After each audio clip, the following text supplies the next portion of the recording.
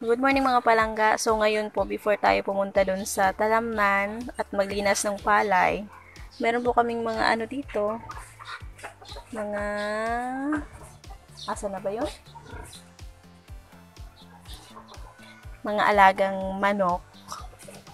So mamaya po, kakatay po kami ng manok kasi wala po kami pang ulam. Hindi naman po kami pwedeng pumunta ng bayan kasi may community quarantine po kami. So ayun po, yung mga manok, kukuha po kami yan dyan mamaya. Kakatayin po namin. So, yung manok kasi doon sa kulungan niya kanina. Sobrang laki niya. Oh.